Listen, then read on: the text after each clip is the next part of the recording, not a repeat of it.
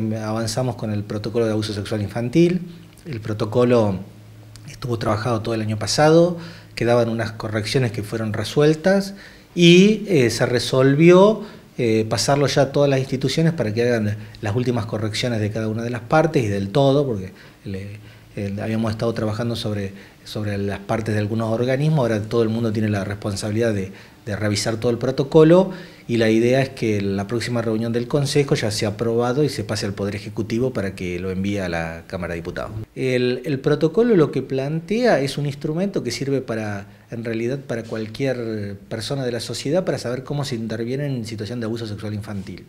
Tiene tres capítulos primero que son de definiciones, de conceptos, donde eh, cualquier persona lo puede empezar a leer y entiende claramente eh, a qué se refiere la situación de abuso sexual infantil. Después tiene un capítulo que son los indicadores, que está planteado para cualquier actor social, que es decir, cuando uno está en contacto con niños, cuáles son las conductas o los gestos o las situaciones que al observar pueden presuponer la situación de un abuso sexual infantil. Y después tiene capítulos que va haciendo, eh, digamos, eh, de cada una de las instituciones que participa, que son los ministerios, la policía y la justicia, y va indicando cómo va a intervenir cada uno de estos actores ante la situación de un abuso sexual infantil. El, protocolo como instrumento tiene dos, digamos, tiene dos objetivos. Primero, es, eh, digamos, regularizar o instrumentar una intervención en el abuso sexual infantil en todos los estamentos, tanto institucionales como sociales. Pero además es un instrumento de capacitación, entonces eh, implica una necesidad urgente ante una situación que se está generando no solamente en la provincia de La Pampa, sino en el país, de una cuestión que existía pero que se está empezando a denunciar.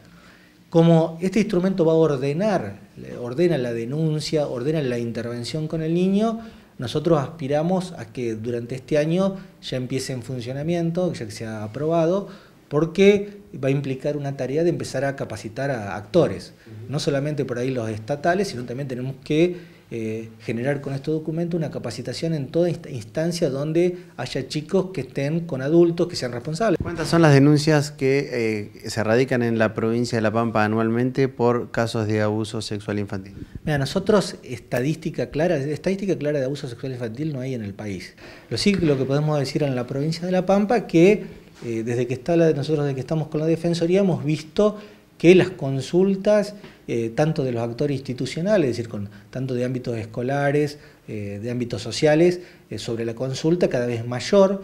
Meaca, semanas atrás, la madre de un joven que practica fútbol en el Club McAllister denunció que su hijo había sido abusado sexualmente por el entrenador del equipo. ¿Tomaron intervención ustedes en el caso?